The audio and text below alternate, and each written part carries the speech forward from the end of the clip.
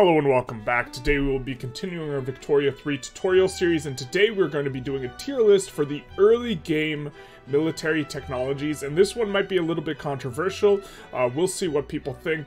Um, in this video, we're going to be doing three things, particularly. We're going to be talking about some of the background discussions required to even really talk about all these texts that I think are important. Then we're going to do the tier list, and then I'm going to try and do a 5 to 10 minute summary of the tier list. All in all, the video should be about an hour.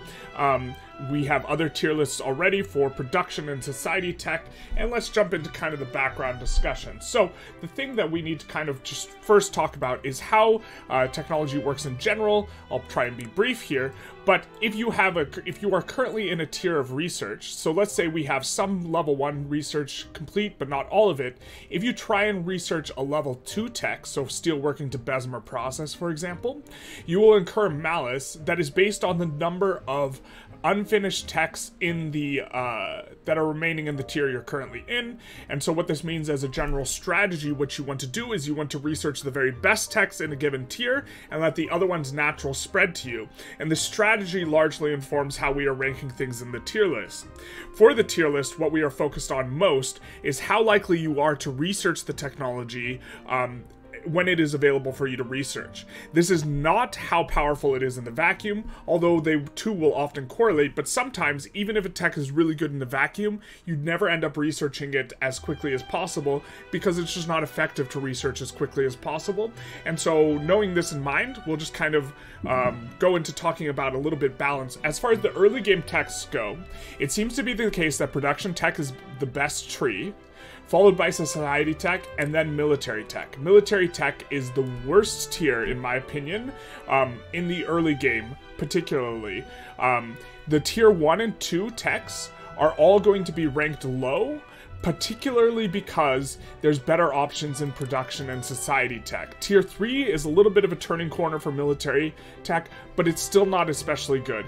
Later on in the game, the military tech becomes particularly good in uh, particular to focus on is trench works. NCO training and mobile army are all, armor are all particularly strong in the late game. Okay, a second thing as far as background consideration that I think is important for evaluating military tech is that you get to choose when you go to war, and the military tech doesn't do anything for you when you're not at war, right? And so you also get to choose who you go to war against. And so early on, what you might want to do, or what I think you should do, is just avoid picking fights you can't win. This makes the production and society techs a lot better because, especially in the early game, because the pr production and society techs will always be doing something effective. When I research atmospheric engine pump, for example, I get a new PM that gives me more coal. It's going to make my stuff more profitable. It's always on in a sense. When I research, for example, Napoleonic Warfare and I unlock mobile artillery, this is only on when I'm fighting a war, and it's only particularly on when I'm fighting a war in which it would make a difference. Since I don't think you should declare wars that are particularly close, and you should mainly just pick on weaker, weaker countries for the most part, uh, this makes it so that military tech in general suffers because you can kind of just wait and let it natural spread to you and pick soft spots instead of going for really hard wars, and there are a few exceptions.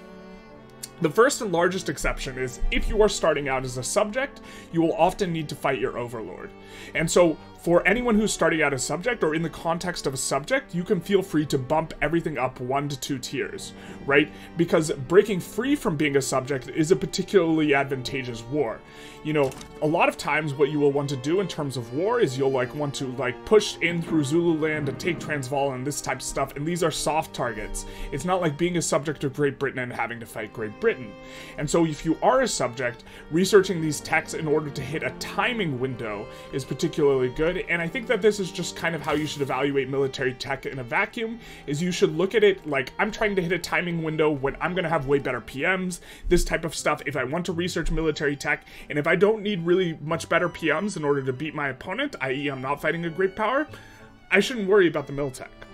The second context where it's kind of good is if you are playing as a great power, which I get the sense that a lot of players play as great powers. I do not play that much as great powers. If you're having a great power versus great power fight, you know, having good tech will be important, but if you're not doing this, it's much less important. And so, you know, if you're playing UK and you want to fight France, then Miltech is going to be better. But my opinion is if you're playing UK, uh, you should just not want to fight France and you should instead conquer Argentina or something. And so, you know, the great power is the second context where Miltech will also look a little bit better. And the third context is if you are not save scumming. Currently in the game, um, uh, diplomatic plays are particularly, in my estimation, broken because they are kind of opaque and it is a bad user experience. And while this is a separate discussion that would take a lot longer to have, I think that a lot of people, or what the metagame seems to be, is you start a play and then you wait to see if a massive like five great powers join against you and if you get something like that you just reload and you just don't do that play and so if you're particularly deciding, I don't want to do that, I want to play Iron Man, uh, I don't know why you would play Iron Man in the game's current state. Uh, largely because when you have a subject that has a rebellion and then you click switch sides, you brick your run. Um, which you can accidentally click switch sides because you often want to click declare neutrality, right? It's the buttons in the same spot and there's no confirmation, it just swaps you. Um, but come more back to the point, if you wanted to do something where you had no save scumming, also military tech would become a lot better. And so, why do I think that my tier list is going to be controversial? I am going to have zero S tier military tech. And you might be able to agree, if you disagree that there should be no S tier tech, that's fine. But if you think, uh, even if you disagree on where, it, whether or not there should be S tier military tech for the early game, something you might be able to agree on is the positioning relative to all the other techs in regards to that. Um, and so in general, you get techs before a big conflict, and otherwise you don't really research military tech, and so that made ranking all of these a little bit difficult, but let's get into the tier list and let's get started. So we will have to jump back to the browser, and back to the browser, and we're going to talk about army reserves. So Army Reserves gives you either 20 or 25% more conscriptable battalions. Um, this is not especially good. Um, you can kind of just ignore it. In particular, it's good on uh, techs that have, or countries that have high population that are not super, super high, because uh, very often with a country like China, you will max out your conscriptable battalions, and so you will hit your cap, and so the extra conscriptable battalions is not useful. Um, is perhaps a little bit useful on the USA, because they start with the high conscription uh, law as far as their military goes, especially if you want to stay on that law, and so in this context, it may be good. Um, but in general, what you can do if you really want a lot more conscriptables, and you also don't want to pay for a lot of uh, stuff while going in on it, is you can come in and you can declare an edict for enlistment efforts, which will give a 5% conscription rate. Now, if we take a look at our law in here, I believe we have professional army. The current conscription rate is 1%. So this X6s the conscription rate and will allow you to get an enormous amount more conscripts. And also National Militia will also give you a 5% conscription rate and 100%, 100 plus 100 conscription center max level. So if you really wanted to lean into conscripts, um, I would recommend just going national militia and using conscription efforts in the areas that you have. I don't think there's any country where you have like an enormous amount of states where you also like want to have a huge amount of conscripts. Like you can't support um, you can't support a large enough military. It's generally low state countries that want to do this. And so maybe you want to go a low state country, go either national militia, mass conscription, and do the enlistment efforts, which is going to give an enormous amount more conscripts. And I think if you're doing it like this, um, you can maybe have like one state uh, where you're, you know, using actually good PMs with your conscripts and then encourage enlistment efforts and then swap over to this sort of thing. But for the most part, I don't think it's particularly useful to get these extra conscript techs. Um, and so we're going to put it in D tier. Now, the next two techs that are coming up, we're going to just talk about now we are going to talk about the two early artillery and line infantry. And in particular, in terms of improving your army, these improve your army some of the very most out of any of the techs.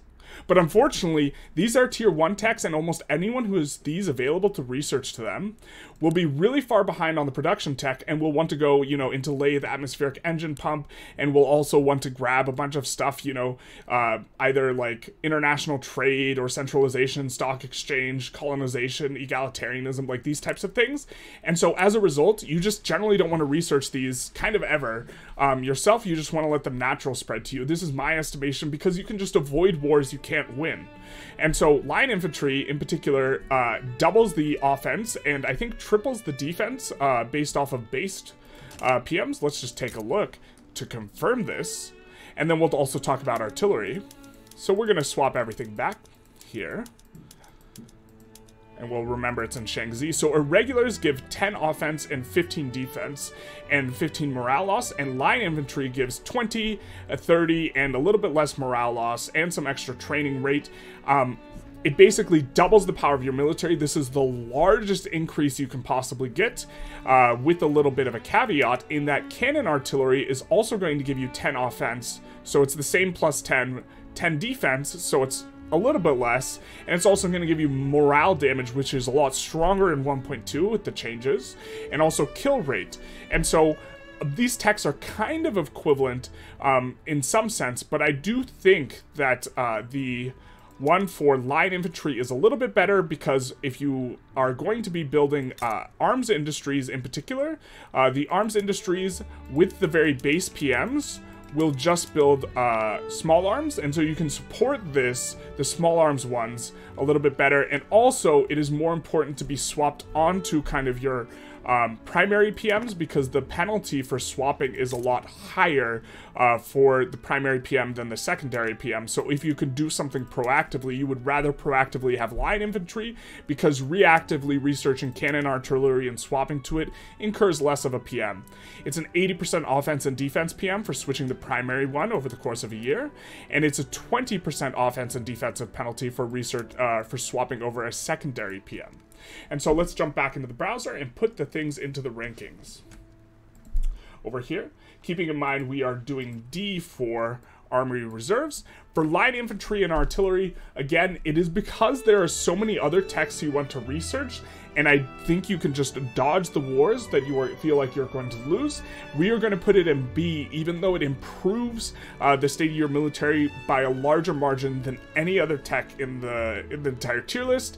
You know, if a tier 3 tech did the same thing, um, then it would be easily S tier, but we're talking about a tier 1 tech that's just really not going to cut it relative to, you know, actually improving your economy. If you have a way bigger stick, um, this is kind of my philosophy, is you just try and get a bigger stick and then you just beat on people smaller than you. Um, this is going to be different from multiplayer as well, um, which is perhaps something I should have said in the caveats. You know, the way you are approaching stuff is going to be different in multiplayer, but this, for single player, we're going to put them like this. Okay, next up we have Napoleonic Warfare, which is another secondary uh, military PM for uh, cannons. I believe it gives, well, let's just jump in and see exactly what it gives. But if I'm not mistaken, it gives a little bit, kind of like the same juice as uh, the last tier. So we go from plus 10, uh, plus 10 to plus 15, plus 15. So it's an extra 5. You also get more morale damage, 50% more morale damage. And this is, you know, it's it's not terrible, but we're actually going to put it it, it's okay, but like again, this is a tier two tech, or no, it's a tier one tech. Uh, it's one of the later tier one techs, and it's just really not going to make the cut. Um, insofar as you know, here we have it right here. This is going to be the one of the last tier one techs. A lot of countries start not having Napoleonic warfare, but you can just wait and let this nat spread to you. You're again, we're valuing this text not how powerful they are in the vacuum, because line infantry is really, really, really good in a vacuum, but within the greater context of the game, where you're going to be wanting to go you know, production and society text first. And so because of this, we have to put it particularly low. Um, and so we're going to put it in D tier behind, or sorry, not D tier. We're going to put it in C tier. It's not quite that bad. We're going to put it in C tier behind the other tech. Um, behind artillery. Now, hydraulic cranes is one of the ones that just increases the amount of docks you can have. Uh, in general, uh, you are going to be really wishing you had more ports when you don't have a lot of coastal provinces. I think the thing you should do is just conquer more coastal provinces rather than try and handle it with a tech. Also, notably, um, this increases the amount of ports you can add by more the more coastal provinces you have, and the more coastal provinces you have, the less likely it is to be an issue. So we're going to put this pretty firmly in D tier. Um, the next up we have Screw Frigate, which gives you unlocks a new PM for ships and shipbuilding. Now, very often this PM is not profitable, and so the reason why you might like it though is not based on the profitability, but instead based on the way it swaps things over. And what I mean by that is it changes uh, Screw Frigate, if we hover over here, it switches reinforced uh, wooden ships. It is going to start using quite a little bit more engines and wood. It is no putting in the engines. Let's find a one that it has a shipyard here. So we're going to swap back to everything. And so notably, it starts out on merchant guilds here, which is owned by shopkeepers, which contribute 5% of the dividends of the building uh, to, or they don't they have investment pools contribution and they contribute 5% of what the building is making. In this case, it's not a lot because we swapped the, back the PMs. And the privately owned will contribute 20% um, to the investment pool contribution, which is substantially more.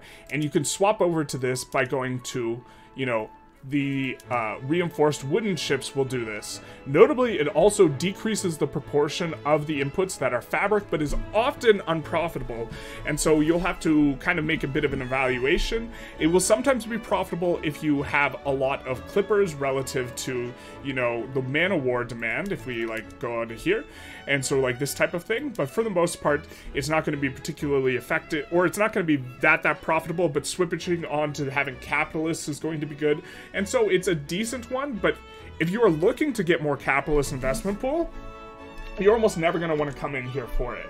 You know, you're going to want to research a production tech, and so for this reason, it's not particularly good, and perhaps we're ranking it even a little bit too high here, but we are going to put it in uh, B tier, or sorry, C tier, I think. Yes, C tier, and we are going to put it behind line infantry. Or sorry, screw frigate? No, we're putting this in D tier.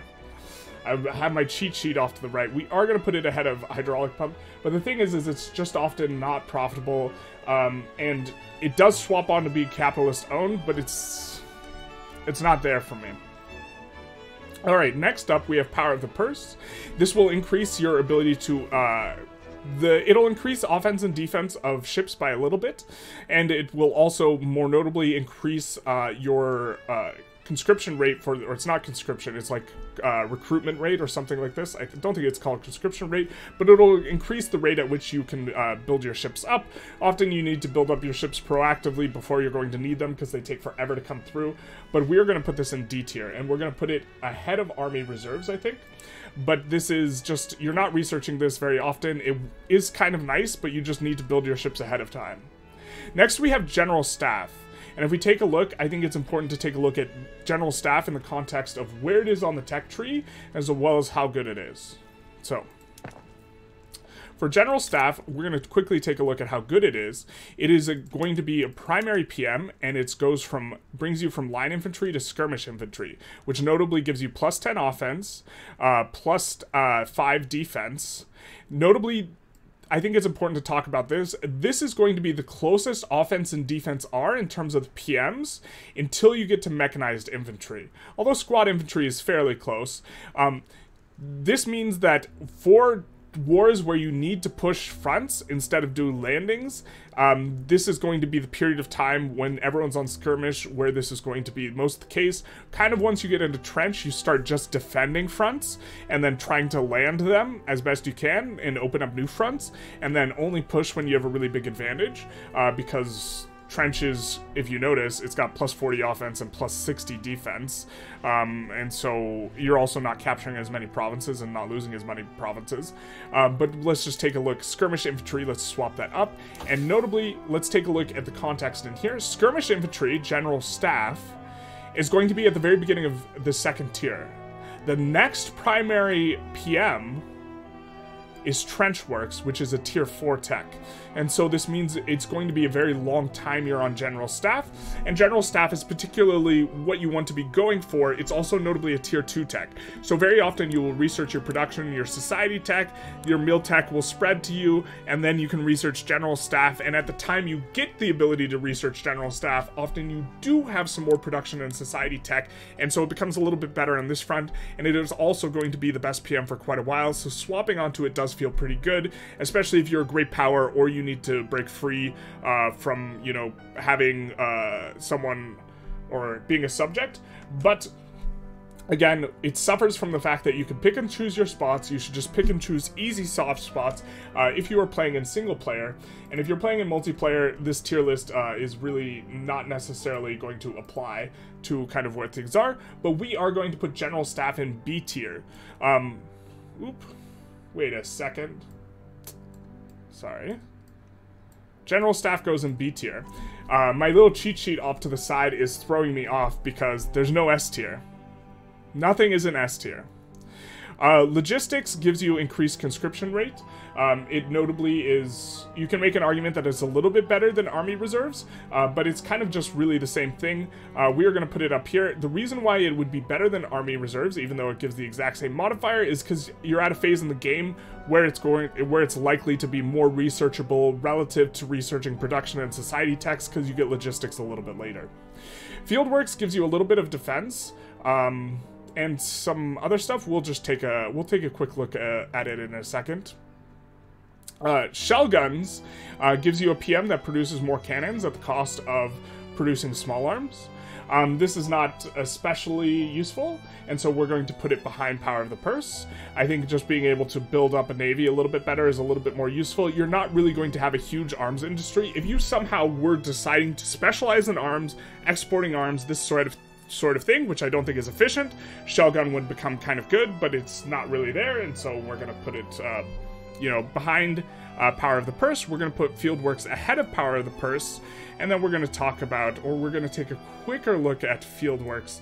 Although um, Fieldworks is an interesting one uh, of a particular kind because it does give you uh, army defense and morale loss immediately, and so this is a tech that I very rarely, but sometimes do research um, as a reactive type of thing um, when I am trying to, because you, as soon as you get a play declared on you, sometimes it's close and you're like, oh, I want to fight this anyways, and you just research Fieldworks in response to a play being declared on you. And so perhaps this should be in C tier, but for the most part, you just let it natural spread to you, especially because it doesn't lead into anything. And so it's it's really not. I don't think it is um, kind of where you want to be. Now, Percussion Cap unlocks the ammo factories. Um, the ammunition factories you're going to need once you have general staff if you want it to be produced domestically, but I've found that very often you can just import the ammunition and not worry about it too much. I don't think that um, you know, necessarily protecting your domestic uh, ammunition supply is, is extremely important. Very often the PMs uh, or the buildings will not be tremendously profitable uh, throughout all phases of the game because you oscillate between having your army raised and having it down. And when it is down, generally the buildings are not profitable and they fire people. And when they get raised, generally the buildings have to hire people.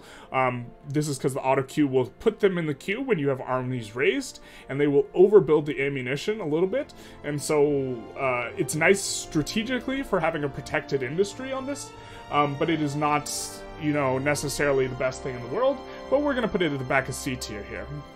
Now, Triage, if I am not mistaken on the numbers, gives you 50% uh, uh, decreased mortality, or it is, uh, it's not decreased mortality per se. You get, it is decreased mortality. Let's just jump into it and double check it. It's also gives you uh, decreased morale loss, which is kind of the more important modifier as it relates to, you know, being able to do things. But triage is going to give you first aid for your barracks. Notably, first aid was buffed because it no longer requires opium in 1.2, but this gives minus 25% morale loss and plus 50% recovery rate. Recovery rate is the amount of casualties you suffer that do not die. They can, my understanding of this is they can recover either as a fully, like, a full person or they can recover as dependents. I'm not, uh, to me, this uh, system is relatively opaque and I'm not abundantly familiar with it. I assume this is a good modifier. Obviously, if they were only recovering as dependents, it probably wouldn't be a good modifier, but I believe they recover normally as well. And decreased morale, morale loss is also much stronger in 1.2. Um, uh, and we'll just take a look at field hospitals because field hospitals gives much the same thing. It uh, doubles the morale loss uh, benefit, and it also uh, will increase the recovery rate by another 25%. And so both of these are fairly good, mainly because the morale loss is more important in 1.2, because um, morale gets chipped a lot more, the battles are a lot faster, and so you will you won't have as much time to recover morale and this type of stuff. Sometimes you will see a front get snowballed on the back of one side of having low morale, and so this PM is it's decent, but again, you have all the contexts uh, that we have previously discussed earlier in the video that are really holding back, you know, uh, any Miltech from being especially good. So we're going to put Triage here behind Line Infantry in C tier, and we are going to put Modern Nursing. Um, we are going to put that behind Rifling, or Rifling is not here yet. Spoilers. So let's talk about Rifling. What rifling does is is basically the same as the screw frigate. It's going to produce more small arms, and it will move you from being merchant guild owned to privately owned. But in my opinion, you are going to have more arms industries, and the arms industry PMs are a little bit better than Screw Frigate is usually not profitable.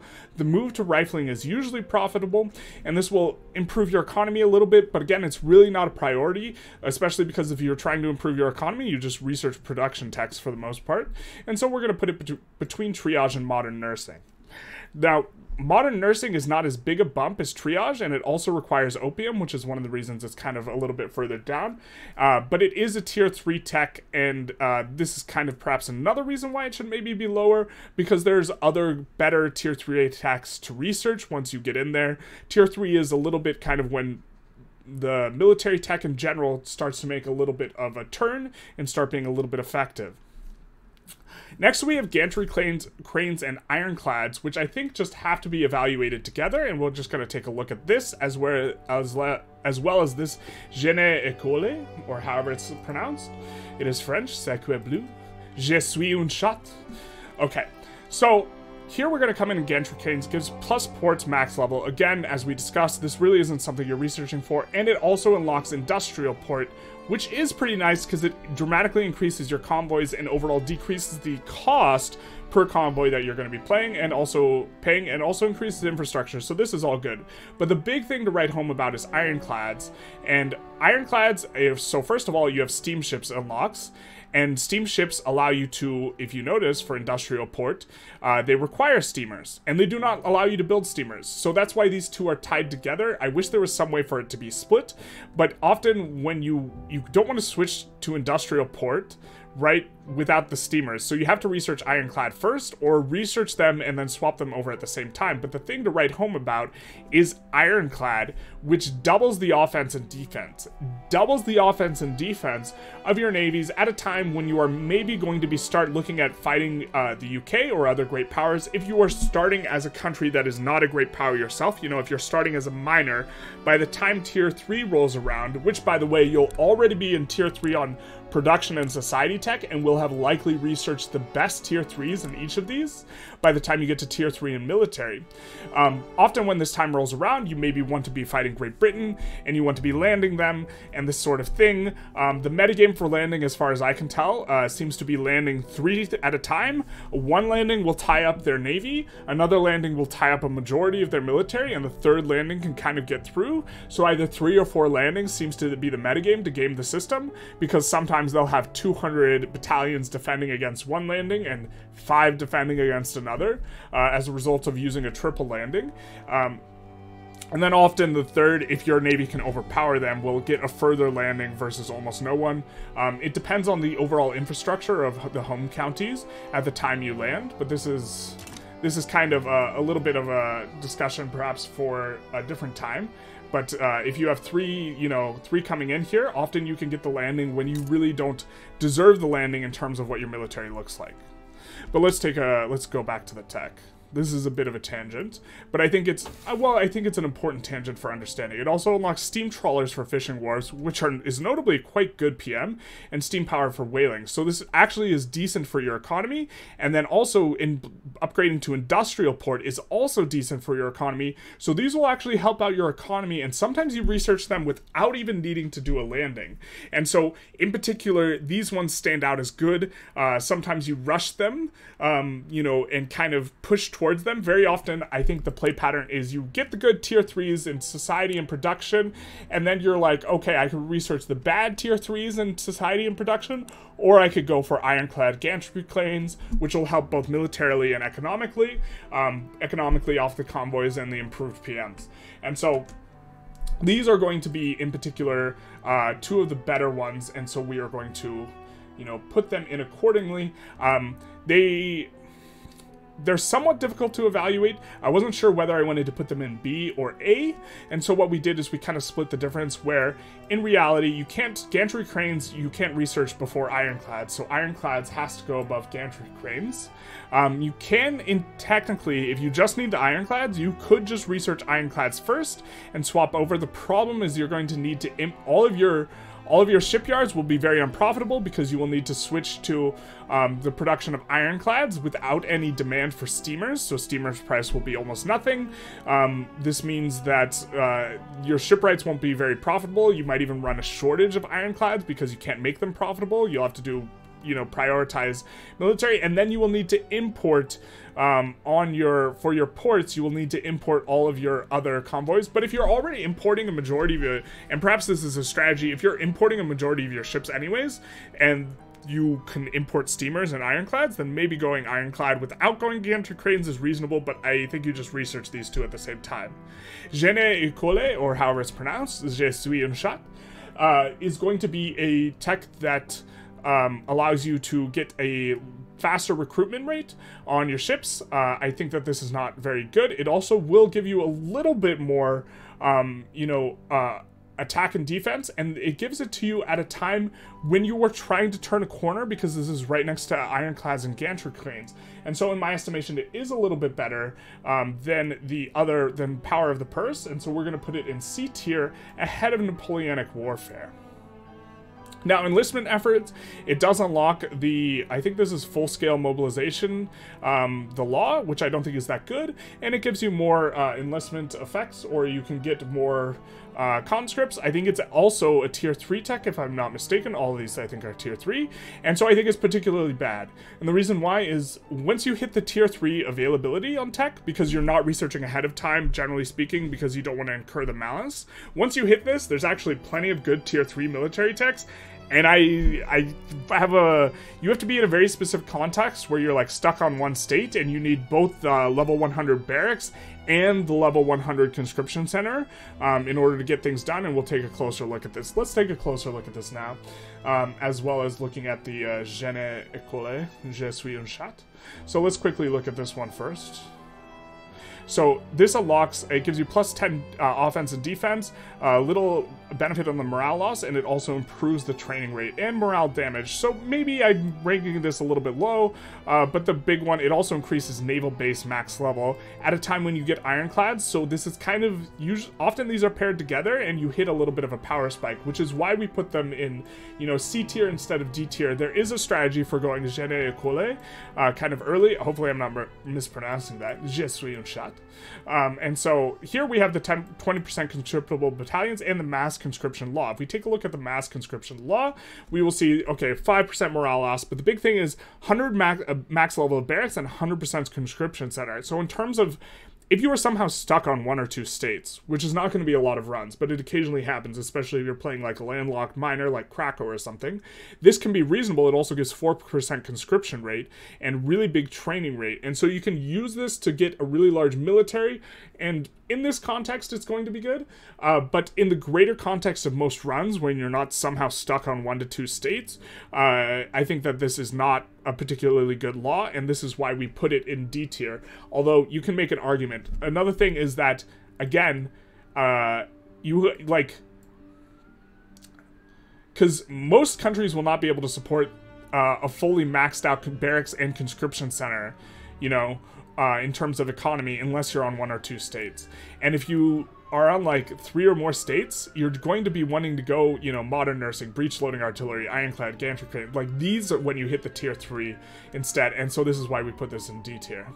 We already talked about modern nursing. Electric telegraph gives decreased war uh, exhaustion from casualties, which I think is uh, maybe something I'm not that great at evaluating. Um, this seems like a tech, again, you have a bunch of good options in tier 3 uh, that you are not going to really look into researching too much, and so we are going to put this in the very top of D tier, because I do think war exhaustion, I, I'm very open to changing my opinion on this, um, on how important decreasing war exhaustion is, but I think in general, you're trying to pick wars that are not particularly close, and so you can make an argument for trying to research this, um, but if you are trying to, yeah, I mean, if you're trying to hit a certain timing uh, window, um, this is a decent one to go, which is why I put it at the top of D, but uh, okay. Um, next up, we're just going to talk about uh, rifling here or sorry, repeaters. Now, repeaters is a PM that is very often not profitable at the start when you research it. Uh, it gives you extra small arms, and the reason I think it's generally not profitable is because you're using less small arms, because generally you go breech loading artillery first, and so this puts a more heavy emphasis on the cannons, and so, uh, or is this one Maybe this one's like sometimes profitable. I don't know. I've seen it be profitable and not profitable. It's not insanely improving your economy. You can just build more arms manufactories. I guess that this makes you build fewer arms manufactories is something positive um, because other buildings tend to be more productive. But this is not going to be a very good tech, and we are going to put it in D tier. And finally, we're going to talk about ble bleach loading artillery, breech loading artillery. Um, let's just take a look at the breech loading artillery or the shrapnel artillery uh, in kind of the context of the arms center, or the barracks. And we're going to come on over, and we're going to look. Mobile artillery is giving 15-15 and also 15% uh, morale damage, kill rate, and provinces capture. Shrapnel artillery doubles that uh, to 30-30. Um, it also gives more morale damage, more kill rate. It's just 5% more morale damage, 20% more kill rate. It also gives devastation instead of uh, provinces captured, and this is a quite big upgrade, and I think it's important to look in here in the context of what's going on in Tier 3 and the only two techs that are really improving your ground military in tier 3 that are especially good, I mean, this one's okay, it's extra army defense or whatever, but it's going to be breech loading and modern nursing, and breech loading, so what's going to happen is if you hit tier 3 and you want a little bit of extra juice, this is going to be the tech to research for land. These are the two techs to research for water. Um, and then you kind of have a bit of a dry spell, you know, throughout this, where you're getting mm, more port max port levels. The monitors are okay, you know. This is torpedo boats are okay, but for the most part, it's about the the tier three is more about the naval and less about the land stuff. You know, you have this is more mobilization or decreased mobilization good requirements, and this even comes after breech loading artillery, anyways. And it's just kind of a dry spell until you hit trench. And so because of this, in the context of what's going on, even though this is not going to improve the level of your military by as much as, you know, line infantry, which doubles the numbers, this only doubles the numbers on the artillery, right? And it also gives you a PM, which is generally profitable, but sometimes not profitable. Um, the, the the military techs are sometimes weird in terms, or the military PMs are sometimes weird.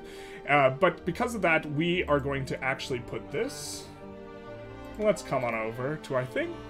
We are going to put breech loading artillery ahead of ironclads here. And then we're going to put enlistment efforts, which we discussed, very close to the bottom of D tier because there's so many tier 3 techs that are going to be good. And if you wanted uh, you're going to have decreasing marginal returns on increased conscription rate as well because the modifiers are additive rather than multiplicative. What I mean by that is if you have 100% of conscription rate and you add another 20%, that's adding a full 20%. But once you already have 120% and you add another 20%, that's going to be what, like 17% increase over what you previously had. And when you add another 20%, etc., etc., you know, when you are at 200% and you add 20%, it's only adding 10% more um, actual conscriptable battalions. So it also has decreasing marginal returns in terms of 20% is not 20% because it's not uh, added multiplicatively, it's added additively. Um, electric telegram we said we were going to put at the top of D tier, where this is maybe when you research for a timing, but I think that I think that what you do, if you're generally going to have all the good tier 3 uh, production and economic techs when you hit the tier 3 military techs. And so I think if that's the case, what you do is you often just rush for trench, trench infantry, you know, if you are trying to hit a timing after hitting uh, tier 3 in military, or you do something resembling rushing. I wouldn't quite call it rushing. And then we're going to put repeaters ahead of army reserves. And so this is our tier list here we are going to have a little bit of a summary uh, and talk about it. I think the biggest point to make here is just kind of a re-emphasis of kind of our background um, understanding or conditions to why we did stuff, which is that in the very early game, production and society tech are better than military tech, and you're going to prioritize them over military tech, and as a consequence, this pushes down military tech on the parameter that you are specifically talking about how you're rating them is not how powerful they are in a vacuum, but how likely you are to research them when they are immediately available, how much you should prioritize them. I think it's important to emphasize you get every tech eventually, right? So it's not a matter of trade off, I can get this or I can get that, but it's a trade off of priority and speed at which you research. And because of this, you know, you need to, I think, evaluate in such a way that you are going to be pushing these these techs down. But just really quickly, we have the production, military, and society techs. In terms of the early game, the military tech is outshined. Um, tier 1 and Tier 2 are in particular deprioritized, so line infantry in a vacuum is probably the best tech here. Uh, the reason why it's poor is because you want to go production and society techs. But it's going to be tier one and tier two are going to be deeply deprioritized. You notice of the ones in A and B tier, three of them are tier three techs uh, because they don't interfere with the early game researching of focusing on you know production and society where you are in the context of hitting military techs you're probably hitting the tier 3 military techs after you have all the best society and uh, uh, production tech we also have the context of where you're avoiding wars when they're close. And so because of this, you don't the the military tech is only useful if it's bringing you over the edge really of being able to win a war. And if it's not, because you're picking on small people, it's just not very useful. Um, specifically, times when it is useful is if you're a subject, if you're a great power, if you're not scave scumming, or if you're in military. Um, right now, I think plays are very opaque, and so I think safe scumming is kind of meta. I think it's what people do. Um, I don't think Iron Man is playable right now. If you're a subject, all the military tech's a lot better. If you're a great power and you want to rumble with other great powers, again, it's better. But other than that, um, or if you're playing multiplayer, it's going to be good. But this is not a review based on multiplayer. So we have no S tier tech, um, and you generally kind of research, look into the military tech before tier 3. The only time you look into it is just to get a little bit of juice before conflict you know is going to be tough. Okay, so quickly going through it, breech loading is going to add quite a lot in a bit of a dry spell where you're not going to be able to add a lot to your, uh, your your land military, ironclad, and gantry cranes you research together because gantry cranes need steamships, ironclad gives steamships, and this sort of thing. And in particular, doubles the power of your navy uh, and is also a nice power spike. You specifically want to do a landing, if you don't want to do a landing, you kind of can just ignore these two. Although they do they do help your economy a lot because switching onto um, modern ports, or this isn't modern ports, it's um, industrial ports, is going to give you a lot of convoys and gantry cranes, but you have to go ironclads first. And modern ports, I mean, sorry, industrial ports, is particularly good from the increased convoys. Um, General Staff uh, is going to be the best a primary PM you encounter for a very long time. Researching it early, in particular, if you're a GP, you want to rumble with GPs, it makes a lot of sense. Um, it is going to require ammunition, uh, which you maybe want to source yourself. Line infantry is I believe just kind of the most powerful tech. Um, artillery gives a similar bonus, but you when you're building arms industries, they always produce small arms, so I think uh, infantry is better. Triage uh, helps you with morale recovery and also uh, decrease casualties, or the, the modifier is called something else, but this is a good one. Um, but it is, again, in the broader context, it's a tier 2 tech uh, when you know, you kind of want to be going production and society. Rifling is notably going to allow you to use capitalists in your arms industries buildings, and so this is kind of okay uh, in terms of uh, it's also us- usually profitable. So this is kind of okay in the broader context of trying to improve your economy. But you're usually not going to research it yourself. You're going to let it natural spread to you. Modern nursing doesn't lead to anything. It does improve um, the recovery rate and the morale recovery rate. It's decent, but unfortunately, it comes in in a spot uh, when it's a tier three tech, and so in the context of tier three techs, you're almost certainly going to go breech loading first, and then maybe modern nursing if you're trying to improve improve your land military. Artillery is a tier one tech, and it gives you quite a bit, ju but just like line infantry, you're not going to be wanting to research military tech at the very start of the game when this is available, and so it's just not very good. Uh, but it is in terms of marginal improvement on your military, these two techs improve your military by a larger margin than any other. And so I just can't put them in D tier. Je n'ai uh, je suis un chat. Um, this gives you uh, a little bit more recruitment rate, specifically after you research Ironclad's Gantry Cranes. So if you're trying to hit a timing of conquering the high seas, it also will give plus offense and defense um, as well. Uh, and so this one's pretty good if you're really trying to push the Navy uh, in the Tier 3 situation, which Tier 3 is a nice timing at the beginning of tier 3 is a nice timing for really trying to push a naval advantage. Napoleonic warfare is it gives you a little bit of boost. It's like 50% more than artillery in terms of juice. It also gives you more provinces captured. Um, but this is a tier 1 tech and so it's not very good. You usually don't want to go it.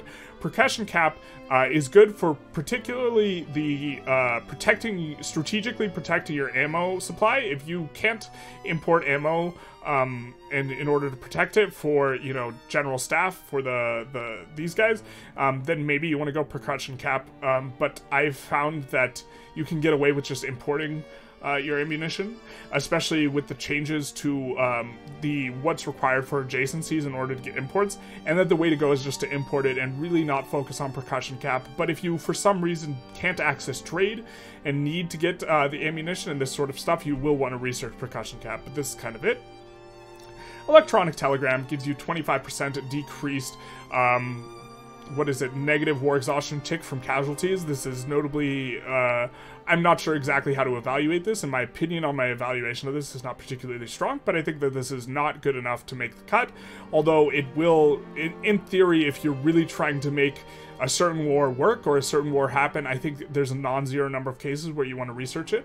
Logistics is going to increase conscription rate. Meh, it's not very good. Uh, we discussed earlier, like you can, there's a few things you could do to increase conscription uh, quite a lot, and I just think that it just, uh, I don't think, I don't think actively researching this is particularly good. Uh, fieldworks maybe should go over logistics because I think there's a context in which you research fieldworks, but it is either a tier one or at the beginning of, I think it's beginning of tier two tech, uh, where it gives extra a little bit of extra defense, um, and you can research this into response to being declared war on sometimes, uh, if you know the war is going to be particularly close, and so maybe, maybe it goes up here, something like this. Um, but overall, it's not that good. Power of the Purse uh, mainly increases offense and defense of ships a little bit. Uh, it also gives plus max level. Um, Along with Jeune École, uh, I don't know if I'm pronouncing that correct, uh, it gives plus max level to the naval bases, and so this is kind of decent, but I don't think you're really maxing out your naval bases at uh, very often on very many countries. And then other than that, it gives a little bit of offense and defense and some conscription rate, but it's really not a lot. And so I just put it back here. Um, Shell guns uh, allows you to produce more cannons. Um, I don't think this is the way if you want to improve your economy. Um, to research shell guns, you'll probably be almost always better with uh, another text, so I have to put this down here. Repeaters, kind of same thing. It will give you another PM for uh, producing more uh, hand arms, but they're kind of a similar evaluation. Army reserves gives you more conscription rate. The reason why it's below logistics is because it's earlier in the tree where you are more likely to be wanting to focus on production and society, but it's the same thing. It's not very useful. Screw frigates is often not profitable at the time you first research it. It will become profitable later, but this later is when you just let it not spread to us. Again, we're talking about focusing on prioritization, not power in a vacuum. What Screw Frigates will do is it'll allow you to swap your PMs over such that they are capitalist owned instead of merchant guild owns, which 4x's the investment pool contribution of shopkeepers relative to capitalists. And so this is something good. It is notably comparable with rifling, but rifling will very often be more profitable, and Screw Frigate will often be less profitable. And so that's kind of why I've had it, uh, these kind of in the place, that places that they are. But very often, if you want to improve your economy, you go production tech over this. Uh, enlistment efforts is kind of a weird one to evaluate. It is a tier 3 tech, and that's why it's all the way back here, because there's a lot of tier 3 techs that start to get good for improving your military, notably, you know, breech loading and modern nursing are going to be what you are likely to go, and it gives you this mass, conscri uh, it gives conscription rate. Um, first of all. But this conscription rate is another 20% after you have army reserves and logistics, and so this extra 20% is less than 20% because you're going from 140% to 160%, not 100% to 120%, and so it's notably not a 20% increase in the conscriptable battalions, but what it does give you is mass conscription as a law, and very occasionally mass conscription as a law will be good, and so maybe this should even be in C tier, you know, instead of way back here. I'm willing to accept that I might be getting this one wrong, but I think think that the number of times or the the frequency of the context when you're on one or two states that can support uh, 400 battalions um, I think that the context is just not very frequent. And maybe I'm not kind of fully appreciating that you can go mass conscription for one single war, do this huge conscript push, and then swap back, and this type of strategy, but I just don't think it's I don't think it's there. And hydraulic cranes just increases the number of ports you have. Uh, this is not particularly good. It also, like, uh, yeah, it's not very good because when you are really needing a lot of ports, um, or you're suffering from lack of port capacity, it means you don't have a lot of coastal provinces. And so this will only increase your ability to build more ports by a small margin. And then when you, you and I think you should just grab more coastal provinces as a general heuristic. Like this is this is um, how you should approach it, and you should just steal them from Kutai or like minors in Borneo or whatever, and you should just look to strategically try and acquire more coastal provinces instead of ever actively researching this hydraulic cranes. And so this has been a um, uh, a not starting steps video. It has been a tier list for the military production tech. I was thinking not even doing this because I think that the context is a little funny. You know, we have no S tier um, I think none of it belongs in S tier, and I like I, I don't even know where in A or B tier these four texts go. I think that these are far and away the four texts that should be emphasized as being the best, and perhaps they're all A tier, perhaps they're all B tier, something like this, um, where you will want to actively research breech loading, ironclad, gantry cranes actively, and occasionally general staff. I could even see general staff being down here, but I think it is a, a step above light infantry. But it's the, the the story of this is just uh, the military texts are not good relative to the production and society texts. You can also pick and choose your wars. You don't have to fight. Uh, you don't if you don't want to. You shouldn't pick really close fights. You're gonna get just wrecked on casualties. It's gonna hurt your economy in that way. And so it's um, I just think Miltech in general early on is not very good. If we jump into the game and just take a quick a closer look, I think in particular there's maybe I think there's uh, perhaps four texts worth researching ahead of time. And I think they are trench works, NCO training, mobile armor, and the tech that's in society. And so uh, well, well, mobile armor you can't really research ahead of time because you have to start researching a bunch of level 5 texts to get into it. But so maybe it's Trenchworks and NCO infantry. These are really, really, really good. And so uh, I think it's not until kind of the later game where military shines, in particular the level 3 military shines, because you've already gotten to your production and society tech uh, before. You've already like gutted the really good tier 3 techs from these um, before you like get to being able to do tier three in military because you're mainly letting your tier twos nat spread to you, so you're going to be behind on this. Um, and then once you hit tier three, you do hit a little bit of a corner where you kind of want to focus on this. I think. Um, but yeah, this has just been a summary. Um, I hope that this was informative. Um, if you like this video, feel free to like, comment, subscribe. Uh, you know, do the YouTube algorithm stuff. It does help out. Um, I'm not sure if I'm going to do the late game tier list uh, next, or if maybe start doing a little bit of some other tutorials, something like this. Um, but anyways, have a good day.